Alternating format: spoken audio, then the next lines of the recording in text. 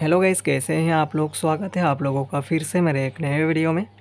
आज मैं आप लोगों को बताऊँगा गाइस कि Vivo T three Lite phone में आप लोग लैंग्वेज चेंज कैसे कर सकते हो। अगर आपके पास एक Vivo T three Lite phone है और इस फ़ोन में जो है आपको लैंग्वेज चेंज करना है, आपके पूरे फ़ोन में, पूरे सिस्टम में नॉर्मली इंग्लिश लैंग्वेज ही होता है गाइस। लेकिन अगर आपको इसको चेंज करके दूसरा लैंग्वेज लगाना है, हिंदी, तमिल, तेलुगु, जो लैंग्वेज लगाना चाहते हो आप लोग चेंज करके लगा सकते हो। तो कैसे आप लोग अपने इस फ़ोन में पूरे सिस्टम लैंग्वेज को चेंज कर सकते हो गैस तो आज के वीडियो में मैं ही बताऊँगा आप लोगों को।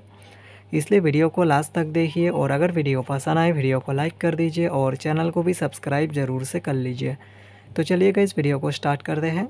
लैंग्वेज चेंज करने के लिए आपको सबसे पहले जो है अपने इस फ़ोन के सेटिंग्स में जाना है।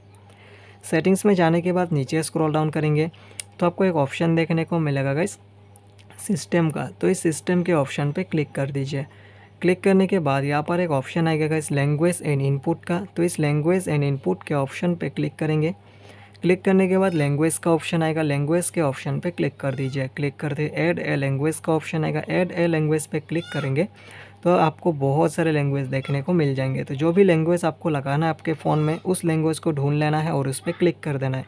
क्लिक कर दिए वो लैंग्वेज यहाँ पर ऐड हो जाएगा। अभी आपको इस लैंग्वेज पे लॉन्ग प्रेस करना है इसे और इसे ऊपर स्क्रॉल कर देना है। स्क्रॉल करते ही लैंग्वेज जो ऊपर चला जाएगा और आपके फ़ोन में, ये लैंग्वेज सेट हो जाएगा। देख सकते हैं मेरे फ़ोन में जो है मैंने हिंदी लगाया था तो पूरे फ़ोन में, पूरे सिस्टम में यहाँ पर हिंदी लैंग्वेज जो वो सेट हो चुका है। तो आप लोग दूसरा किसी भी लैंग्वेज को जो है अपने फ़ोन में जो है लगा पाएँगे।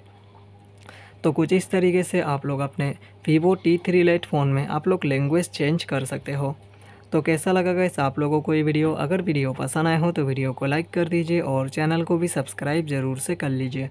मिलते कल एक नेक्स्ट वीडियो में, तब तक के लिए बाय